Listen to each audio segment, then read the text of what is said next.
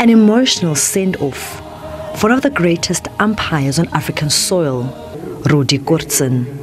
Known for his slow finger of death while umpiring, he became affectionately known as Slow Death. He would raise his left arm and index finger extremely slowly to signal a batter's dismissal while the fielding team appealed.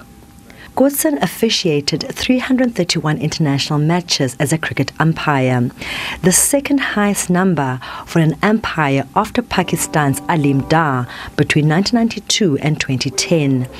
But to his son, he was just dad, with the kindest of hearts and the warmest of smiles. My father's got big, big shoes, and then for me to fill that gap, it's nearly going to be impossible. Um, but I can tell you one thing. Um, to be humble, um, accept everybody for who they are, um, not thinking too much of yourself, and uh, just have love for for everybody and that's the type of person that my father was and I hope I can continue that legacy as a family man.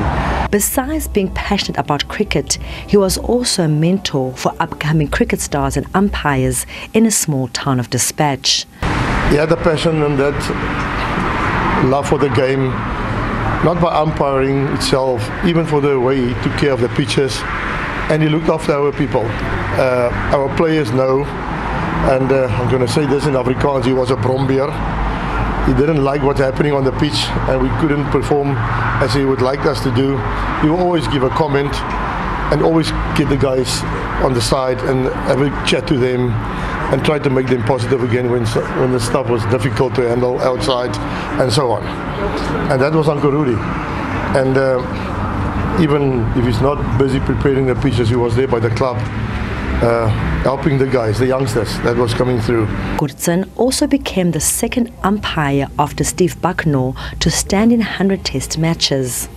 He leaves behind a well of wisdom that will live on for generations. I remember him mostly for his laugh and his smile and the way he treated people on the cricket field and on every sports field he ever went on, you know, from the golf course right through to to the even fishing. You know, he treated everybody with respect, and everybody treated him with respect. I mean, it didn't matter who you were; he always had respect for you. He was a man that respected people, loved them, and probably the best thing he ever told me in life is if you've got love, it's pure love, you know, you've got everything in life.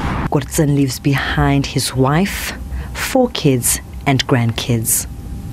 Lerato Fekisi, SABC News, Dispatch in the Eastern Cape.